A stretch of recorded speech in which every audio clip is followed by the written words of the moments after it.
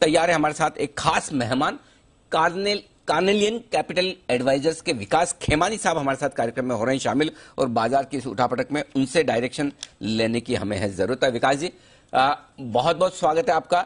धन्यवाद समय देने के लिए। सबसे पहले बताएँ सबसे खराब था वो हो गया कल या अभी भी होना बाकी है? बस इतना बता दीजिए। आई थिंक यू नो कल जैसे सिचुएशन थी ऑफ़ कोर्स एक पैनिक था बाज़ार में। जो डेवलपमेंट हुई यूक्रेन में लेके। ऐसा लगता है कि कल जो रात को डेवलपमेंट हुए हैं, उससे कि अभी एक मिलिट्री कॉन्फ्लिक्ट तो सीम्स टू बी अवॉइडेड तो जो एक था कि नेटो फोर्सेस उस पर वापस काउंटर अटैक करेंगे कि नहीं करेंगे तो वो तो अभी समय के लिए तो लग रहा है कि नहीं हो रहा है। एंड ये भी हो सकता है कि रशिया में जो सेंक्शन वगैरह लगेंगे, वो तो है, उनकी इकोनॉमी पे फ़र्क पड़ेगा, पर उसका एटलीस्ट इंडियन इकोनॉमी पे इतना कोई इम्पैक्ट होगा नहीं। तो मुझे लगता है वो तो एक अच्छी बात है।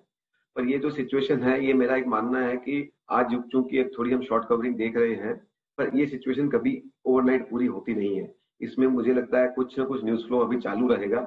इतना बड़ी कॉन्फ्लिक्ट की बातें कभी भी एक दिन में सेटल नहीं होती है। तो ये थोड़ा सा अनसर्टेन माहौल बना रहेगा, पर ये इसमें भी कोई दो राय नहीं है कि इस तरह के जब जब मौके आते हैं, वही मार्केट में इन्वेस्ट करने की अच्छी अपॉर्चुनिटी होती है, अगर उसमें कोई फंडामेंटल इम्पैक्ट ना हो तो।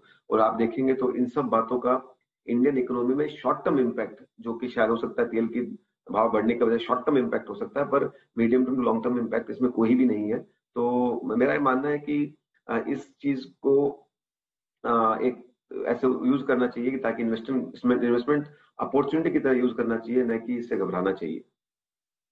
ये मौका है। सौ रुपए है पैसा लगाने के लिए मेरे पास इक्विटी में इस वक्त। कितना इस वक्त लगा लेना चाहिए? सो so, इसमें मेरे को लगता है कि ये दो, दो बातें कहूँ। एक तो ये इवेंट। है एक दूसरा ये पूरे साल के अंदर कुछ ना कुछ इवेंट आते रहेंगे। तो मेरा मानना है कि इस तरह के इवेंट जब आते हैं जब भी एक्सेलरेटेड वॉलिटिलिटी होती है तो आप डाल सकते हैं। तो मेरे को मानना है अभी अगर आप आप आज सौ रुपया लगाना चाहते हैं तो आपको चालीस से पचास प्रतिशत पैसा लगा देना चाहिए। और यू नो अगले जो भी दो चार पाँच एक, एक दो ये हफ़्ते के अंदर और थोड़ा मुझे लगता है आने वाले समय में भी कुछ ना कुछ ऐसे मौके मिलते रहेंगे, क्योंकि ये साल में भले वो फेड की बात को लेके हो इंटरेस्ट रेट्स को लेके हो, कुछ ना कुछ एक मुझे लगता है अनसर्टेन माहौल बना रहेगा।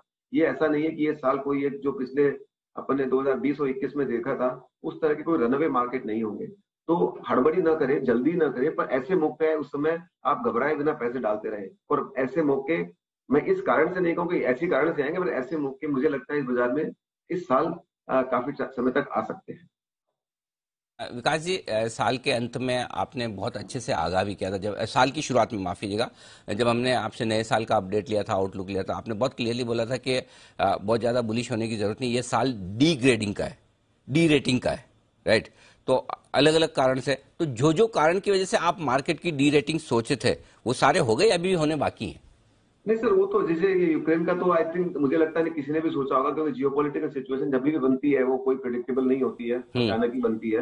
पर जो एक कारण जो मेन कारण था वो ये था कि फेड है थोड़ी लिक्विडिटी को विड्रॉ करेंगी इंटरेस्ट रेट बढ़ाएँगी तो उसका जब जब वो होता है थोड़ा सा एक इम्पैक्ट शॉर्ट टर्मिश होगा। क्योंकि ये मेरा मानना है कि लॉन्ग टर्म में उसका भी इम्पैक्ट इंडिया में नहीं होगा क्योंकि हमारे इंडिया की डिपेंडेंस अभी यूएस डॉलर पे यूएस इंटरेस्ट रेट पे काफ़ी हद तक कम होती जा रही है धीरे धीरे पर वो एक शॉर्ट टर्म मार्केट में वोलेटिलिटी उसकी आ सकती है इकोनॉमिक इम्पैक्ट इतना नहीं होगा।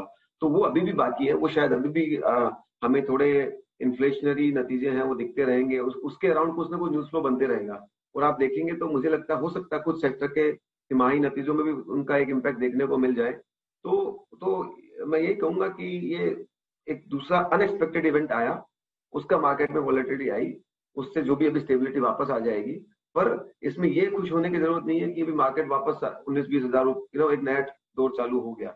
मार्केट वापस मुझे लगता है यही एक दौर रहेगा अगले एक दो क्वार्टर में कि मार्केट सोलह, साढ़े सोलह हज़ार से साढ़े सत्रह, अठारह हज़ार के बीच में कंसोलिडेट होता रहेगा।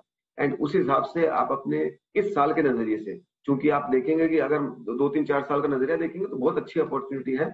तो मेरा इसीलिए ये कहना था कि इस साल में हड़बड़ी न करके हर जब भी जब ऐसा कुछ मौका है उसमें आप पैसा डालें। साढ़े सोलह से साढ़े सोलह हज़ार निफ्टी का जो लेवल है, ये एक अच्छा लेवल है इन्वेस्ट करने के लिए। यहाँ जो लेवल में इन्वेस्ट करेगा, वो मुझे लगता है तीन चार साल में अच्छा आउटकम बहुत अच्छा आउटकम ले पाए बढ़िया बात कही आपने कि तीन चार साल के अगर व्यू के हिसाब से इन लेवल पर आप निवेश करने की सोचे तो सोलह, साढ़े सोलह हज़ार अच्छी रेंज है, जहाँ धीमे धीमे आप चालीस पचास परसेंट पैसा लगा सकते हैं।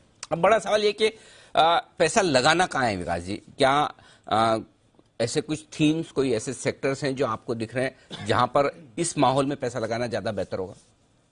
तो सबसे पहले तो आई थिंक बैंकों के शेयरों में पैसा लगाना चाहिए क्योंकि okay. बैंकें जो है एक बहुत ही समय के बाद कंसोलिडेट होकर बाहर निकल रही हैं। उनकी अर्निंग ग्रोथ की ट्रैजेक्टरी इंप्रूव हो रही है क्रेडिट ग्रोथ की ट्रैजेक्टरी इंप्रूव हो रही है एनपीएस साइकिल मोरलेस बिहाइंड हो गई है। तो मुझे लगता है एक आने वाले समय में बैंकिंग सेक्टर के लिए सुनहरा समय है और उस उसमें अच्छे अच्छी क्वालिटी बढ़िया बैंक के अंदर इन्वेस्टेड रहे आपका अच्छा रिटर्न बन सकता है।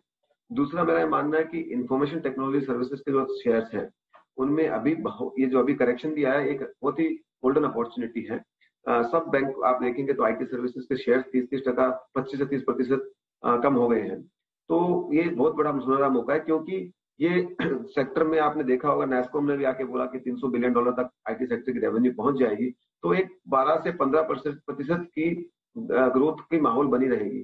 जब जब इतना बड़ा सेक्टरों लेवल ग्रोथ आता है ये इसमें कोई संदेह नहीं है कि उस उस सेक्टर में अर्निंग ग्रोथ आएगा और यू वेल्थ क्रिएट होगा।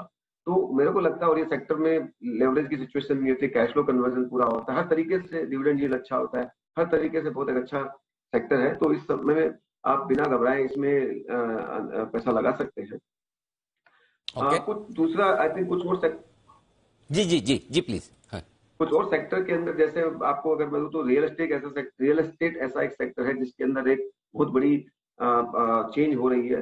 एक तो सेक्टर में रिफॉर्म हुआ है, रेरा के बाद में। दूसरा डिमांड माहौल जो है बहुत अच्छा निकल रहा है क्योंकि इकोनॉमिक ग्रोथ जैसे बढ़ रही है।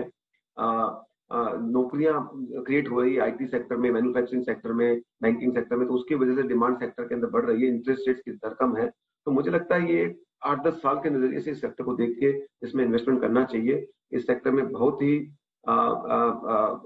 अपॉर्चुनिटीज़ रहेंगी।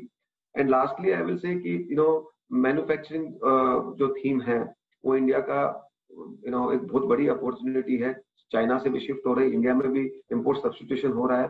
That cuts across many sectors like auto component हुआ you know defence related plays हुए या चाहे आप टेक्सटाइल में कह लो तो इन इसके अंदर एक जहाँ जहाँ ये आपको इम्पोर्ट सब्सटीट्यूशन और एक्सपोर्ट ओरिएंटेड अपॉर्चुनिटी अपॉर्चुनिटी मिले आप इसमें बहुत बड़ी कमाई कर सकते हैं।